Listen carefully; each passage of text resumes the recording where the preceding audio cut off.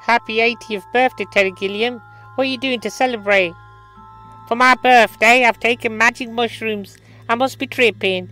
A talking ape and shark. Yeah, whatever. I thought you hated drugs. You're right, but I'm old now. I might as well take everything. On the life of Brian, I tried ganja. I didn't like it, and I threw up on John Cleese's face. On 12 Monkeys, I tried coke. I didn't like it, and I threw up on Bruce Willis's face. But these mushrooms are opening up my mind. I'm gonna make a new film called The 12 Lives of Brian the Monkey. Can I star in it? Have you got any acting experience?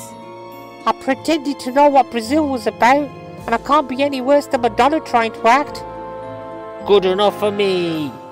You'll star in this, or my name's not Captain Chaos. Just don't throw up on me. Happy 80th birthday, Terry.